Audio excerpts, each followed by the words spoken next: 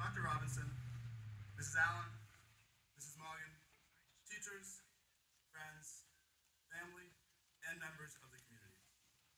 Welcome to Lebanon High School Class of 2024 graduation.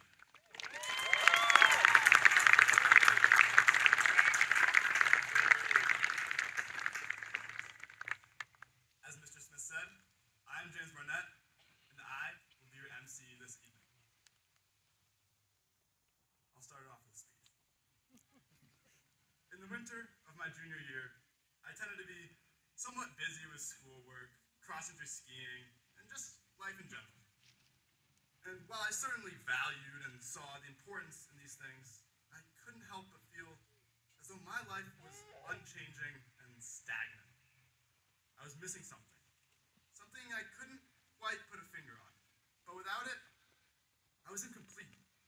My motivation dwindled, and I became stuck monotonous schedule of school, sports, homework, sleep, school, sports, homework, sleep. And so when my friend Maren Pearson approached me in chemistry and told me that her and a few friends were planning on going sledding at Storrs Hill that night, my rational thought told me, no, you don't stick to the schedule. You either lose sleep, which for a junior in high school is an extremely precious commodity, finish your homework and your grades will crash. And so I told Mare, of course, I would love to go sledding tonight. I definitely don't have any homework to do whatsoever. That conversation you just heard about me being overworked, that's totally a lie. I'm completely free tonight. Now, looking back on my irrational and impulsive response, I'm not quite sure what drove me to make that decision. Perhaps it was because I sought to alter the repetitive life I've been living with something new, something exciting that would add that spark I was missing. Or maybe just because a beautiful girl was asking me to hang out with her for the first time. Who knows? Whatever the reason was, we assembled our somewhat odd group, odd and misfit group. Me, a, a junior who was part nerd, part social butterfly. Maren Pearson, girl who seems to spend most of her time in the woods. Will Katz, a very charismatic member of our chemistry class. Some random freshman named Abe Pearson, and Hannah Rich. We showed up to Storrs Hill around 8, each of us bringing our various sleds, saucers, this one like part scooter, part snowboard thing that was impossible to use. We spent the first few minutes warming up on the lower sport, on the lower slope, practicing our turning skills and trying out each other's sleds, seeing which one was the fastest. After we were sufficiently ready, we decided to try going down from the top. And if you're not familiar with Storrs, it consists of one straight, steep trail that abruptly ends in a very unforgiving and solid ski lodge. In normal conditions, sledding from the top would be somewhat difficult, but certainly doable. Now, at night, no flashlights, it was quite daunting to say the least. So we all try to summon up as much luck as possible and head off in the steep, poorly lit trail. Somehow, we all managed to survive till the bottom. So, we did what any reasonable person would do. We decided to make it even more dangerous. The next time we went down, Abe, Will, and I all got in the same sled, while Mare and Hannah doubled up in another. Now, if any of you know your Newtonian physics, then you realize that by tripling our weight, we're also tripling the force of our sled. Force equals mass times acceleration.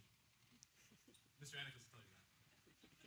And thus, tripling the force required to turn or stop the sled. And much to our surprise, the laws of physics continued to hold true.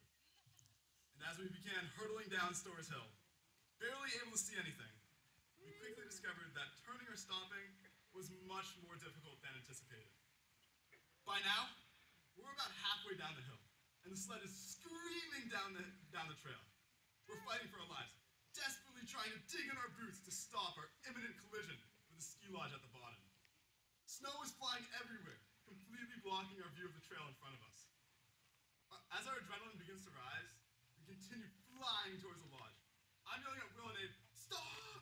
Stop! Stop!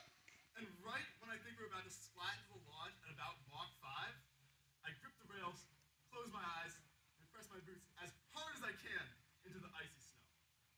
When I open my eyes, I'm sitting about 10 feet away from the lodge wall. We spent, we all spent some time celebrating the fact that we're all alive and remarkably unharmed. And then we remember Hannah and Mary. They are nowhere to be seen. As we peer up the dark trail, we thankfully see a sled coming down towards us. And right when we start to relax, we notice the sled is empty. As it stops at our feet, we search the trail and see nothing. We keep waiting for another minute or so, until finally Will sees the two of them slowly walking down the hill. We all breathe a sigh, of relief. They're okay. Until close enough that we can see her face. Wow. Her nose is completely sideways. I, I have never seen a more broken nose in my life. And I've seen two broken noses. Which makes the more broken nose out of the two. We decided to call it a night then and there because we were done with all the, uh, the injuries and near deaths. And we all went our separate ways. Left to drive Maren to her mom's house because her mom is a nurse. I took Abe home, and Will left as well. So, why did I choose to tell this story to the class here today? It's because every single one of you is going to face a decision at some point. One option will be to say you're busy, choose to do that one homework assignment in favor a better sleep schedule.